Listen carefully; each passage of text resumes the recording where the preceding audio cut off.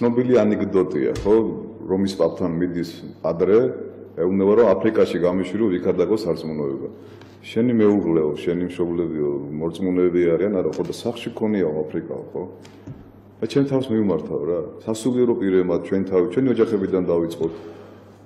აი თქვა ხედავ რომ ქვეყანაში არის ძალიან ძიმე მდგომარეობა და დაგამოვდივარ და პოლიტიკოსებს ვაგინებ, ხო? დავანებოთ კიდევ ვიძახი ამათ გინებას თავი და დავიწყოთ საკუთარი ოჯახებიდან, საკუთარი მრევლიდან. მე როგორი мама ვარ? ჩემ შვილებს როგორ ვზრდი? რას ვასწავლი? რას ვაჭმევ, რას ვასმევ? და ჩემი შვილი სკოლაში, სამეგობროში, უბანში როგორ იქცევა? აი მრევლმა უნდა იცოდეს ოჯახის მოძღვრის ოჯახური მდგომარეობა და მოძღვარმა უნდა იცოდეს მე ვინც მომაბარა ღმერთმა ჩემი მრევლი მე უნდა ვიცოდე მათი ოჯახური მდგომარეობა ეკლესიაში ყველა კარგები ვართ რა გვაჩვენებთ ერთმანეთს თავს გასაყვარელი мама უმყავს გასაყვარელი შვილები ყავს და კარგი ოჯახი აქვს და ასევე ჩვენს რო ხედავ რომ მოდიან სოლქმარი ერთმანეთი როგორ უყვართ აბა მოდი რეალურად გავიგოთ. ისე სახლის კურთხევაზე კი არ მივიდეთ. ყველაფერი გამზადებული როა და დაალაგებული და როიცია რომ მიდეთ. აი უცბად მივიდეთ სტუმრად სახში ერთმანეთთან. აი უთხრათ რომ მოვდივარ. და მივიდე და ნახოთ მოძღვრის ოჯახური მდგომარეობა, მრევლის ოჯახური მდგომარეობა და მოდი აი გავიცნოთ მოძღვრის ცოლები და მოძღვრის შვილები. მათი სოციალური გვერდები ვნახოთ და მიხვდებით.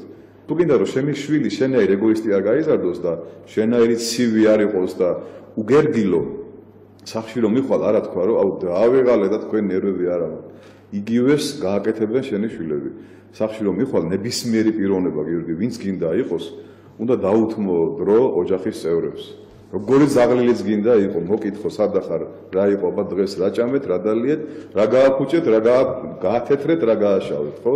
მაგრამ როგორ არის ხო? მიხვალ თუ არა ტელევიზორი ან სოციალური ქსელი და სულ არ გაინტერესებს იქ რა ხდება, ვინ რა ცხოვრებით იცხოვრა და რა პრობლემები აქვს.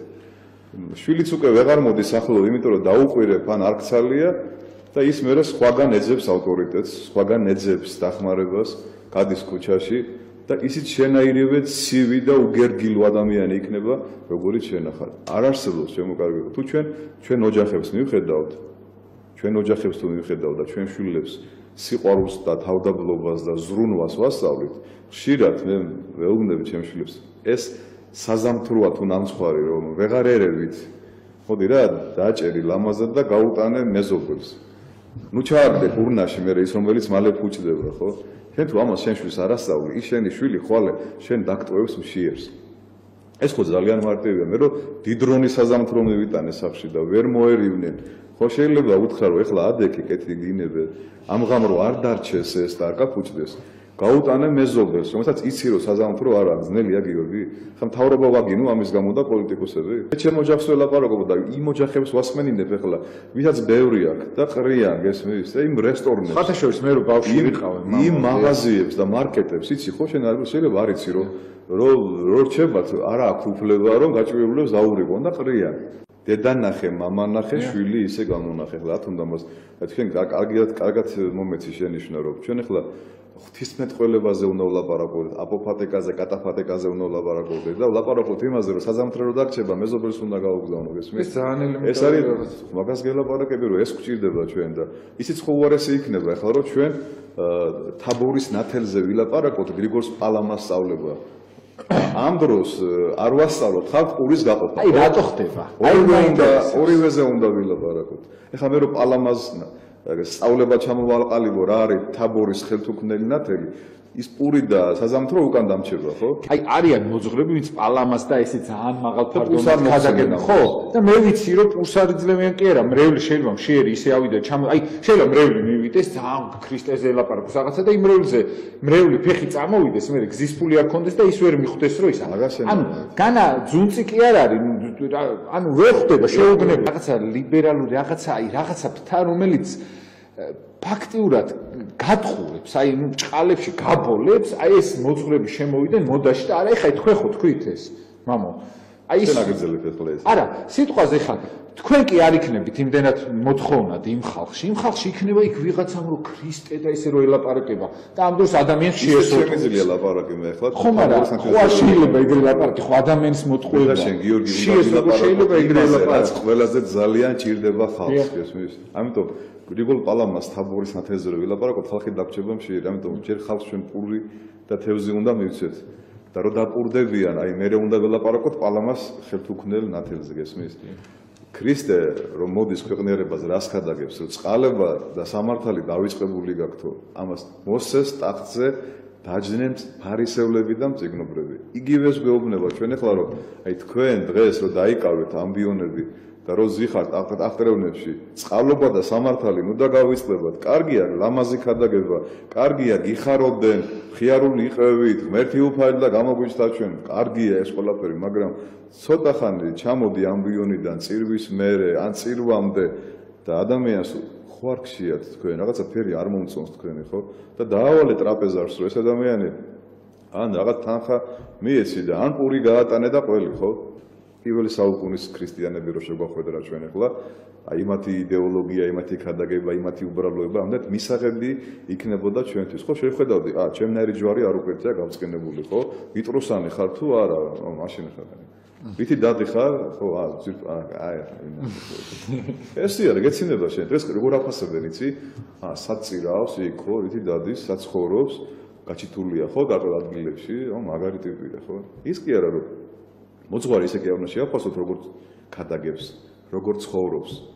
ესმის, ქადაგება დღეს ყველა შეუულია უკვე რა. ინტერნეტი ჩარტი იმდენი ქადაგებებია გიორგი რომ რაზეა ლაპარაკი. ქადაგება შეიძლება ყველას არ შეუულია, მაგრამ ბევრ შეუძლია ლამაზად იქადაგოს მოჩვენებითად ფარისეულურად. მაგრამ იმ მოძღვარს გაყევი და ნახეთ როგორ ცხოვრობს, რითი დადის, რა აცვია, რას ჭამს და რასაკეთებს გესმის?